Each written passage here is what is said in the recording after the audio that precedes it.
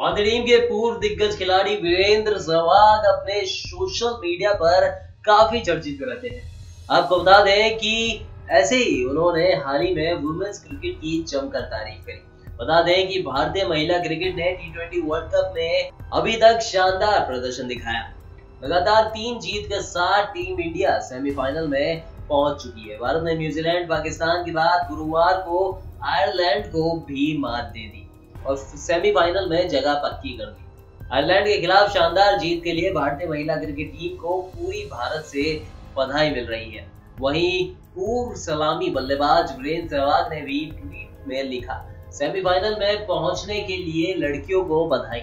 अभी तक टूर्नामेंट में आपका दबदबा बना हुआ है। आप ऑस्ट्रेलिया के खिलाफ भी जीत दर्ज करें और ग्रुप में टॉप पर रहें।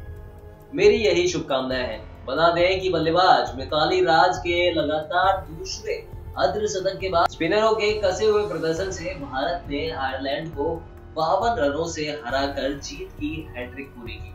आयरलैंड ने भारत की मज़बूत बल्लेबाजी को 20 ओवर में 6 विकेट पर 145 रन पर रोका। लेकिन आयरलैंड की बल्लेबाजों ने भारतीय स्पिनरों के सामने पूरी तरह से फेल हो गए। नेक्स्ट नाइन स्पोर्ट से गौरव की रिपोर्ट।